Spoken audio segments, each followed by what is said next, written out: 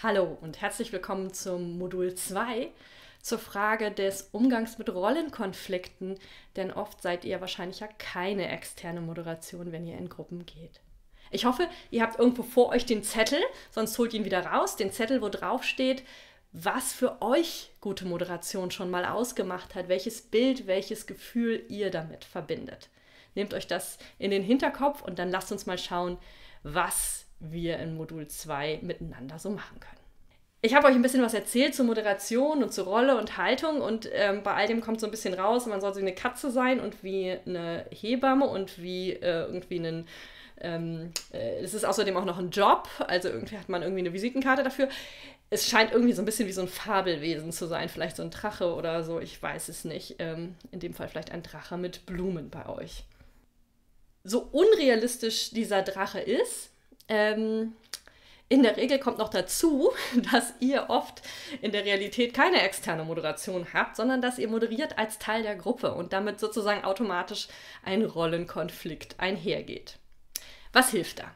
Klarheit hilft. Ich glaube, dass es total hilft, wenn ihr euch eurer Rollenkonflikte bewusst seid. Wenn ihr sozusagen wisst, das ist eigentlich eine, eine, ein Widerspruch in sich, einerseits nur für den Prozess verantwortlich zu sein, aber Teil der Gruppe zu sein und das Kind doch mit großziehen zu müssen. Und mach das auch für dich und für deine Gruppe transparent. Also sag deutlich, ob du gerade als Moderation oder als Teilnehmerin sprichst. Ähm, setz dich selber mit auf die Redeliste, missbrauche deine Moderationsrolle, bei der du ja jederzeit reden kannst, in der Regel nicht, um sozusagen Teilnahmebeiträge zu bringen. Ähm, manche Menschen hängen sich auch Schilder um oder halten Schilder hoch, wenn sie bei was sind. Oder wenn du bestimmte Methoden anwendest, dann mach das eben auch deutlich, ob du dann auch als Teilnehmerin mitmachst oder ob du, wenn du in einer Kleingruppenarbeit bist, ob du als Moderation schaust, dass die Gruppe gut arbeitet. Design hilft und zwar unfassbar. Also es gibt einfach viele Moderationsmethoden und da werden wir in den nächsten Modulen drauf eingehen. Es gibt viele Moderationsmethoden, die machen es leicht, dass ich sie sozusagen anleite und mich dann einreihe als Teilnehmerin. Dazu gehört sowas wie eine Runde, dazu gehören Kleingruppen, Schreibgespräche, dazu gehört, wenn ich mit Punkte oder Karten abfragen. Also oder Diskussionen auch, aber dann mit sehr klaren Spielregeln. Also beispielsweise, wenn man sagt, es gibt so einen Redestick ähm, oder einen Stift oder so, den gibt man immer reihum. Und immer nur die Person darf reden, die den Stift hat. Und wenn die Person nichts sagen will, gibt sie den Stift direkt weiter. Und ansonsten darf sie so lange reden, wie er oder sie möchte.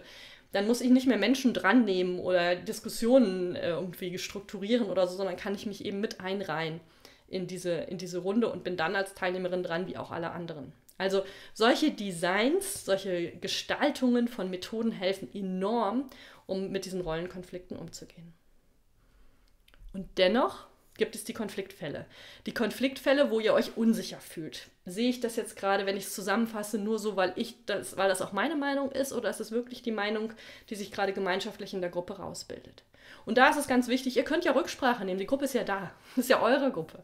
Also nehmt Rücksprache, sagt, wenn ihr euch nicht hundertprozentig sicher seid, ob ihr das gerade sozusagen mit Vorurteilen oder mit einem, mit einem zu eingefassten Mindset seht. In der Regel sind Gruppen sehr gut zu korrigieren, zu ergänzen, ähm, zu helfen, euch auch in eurer Rolle zu helfen, wenn ihr da Schwierigkeiten habt. Und wenn ihr sehr involviert seid, dann gebt die Moderation mindestens an diesem Punkt ab. Also schaut einfach, dass ihr möglichst dann moderiert, wenn solche Rollenkonflikte nicht so furchtbar stark für euch sind. Denn es ist auch sehr, sehr anstrengend, gleichzeitig zu moderieren und stark involviert zu sein. Diese Doppelrolle, die ihr dann permanent einnehmt, wenn ihr das mal in der Realität ausprobiert, werdet ihr feststellen, das ist einfach doppelt so anstrengend, weil ihr einfach zwei Jobs macht. Nämlich den des Gebärenden und den der, der, der Hebamme. Und ihr könnt euch ungefähr vorstellen, das ist eine sehr, sehr schwierige Kombination. Also schaut, dass ihr das in Phasen macht, wo ihr nicht so stark selber involviert seid. Gebt es vielleicht auch kurze Phasen ähm, ab ähm, und guckt da gut nach euch selbst und nach eurer Gruppe.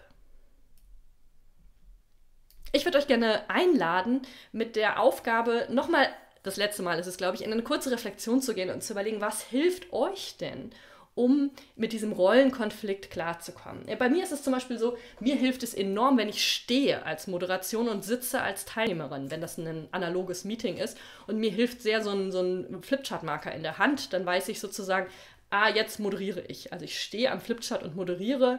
Und das hilft mir sehr, um mir dessen bewusst zu sein, ha, mein Job ist gerade die Moderation. Oder manchmal hilft es auch, sich vorher gut vorzubereiten und einen kurzen Moment zu haben. Vielleicht ist es bei euch noch was ganz anderes. Also überlegt, einen kurzen Moment für euch selbst, macht euch gerne ein paar Notizen, ladet euch die Aufgabe dazu vielleicht auch nochmal runter, Schaut, was hilft euch, um mit diesen Rollenkonflikten klarzukommen? Und was davon könnt ihr in der nächsten Moderation vielleicht auch nochmal neu ausprobieren, was ihr bisher noch nicht so gemacht habt. Wir sehen uns gleich nach eurer Aufgabe beim nächsten Modul und ich freue mich sehr, dass wir dann endlich den Methodenkoffer öffnen werden und uns genauer gemeinsam anschauen, wie sieht Moderation eigentlich konkret aus und welche Phasen gibt es da und genau, wonach entscheide ich eigentlich, was ich jetzt mache. Also, bis gleich.